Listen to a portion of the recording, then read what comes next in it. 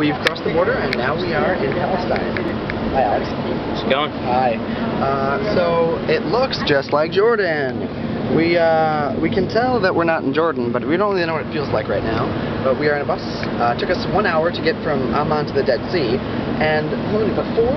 No, about four hours uh, to get across the little maybe 10 kilometers Less of at land. 7.30. What time is it to now? the border. Yeah, long time. So here we are in Jerusalem, uh, on our way to Jerusalem, excuse me. We don't really know what it feels like yet. It's 1.30. We left the house Just under six hours. just under six hours. Um, five hours of that being the border crossing. So, craziness.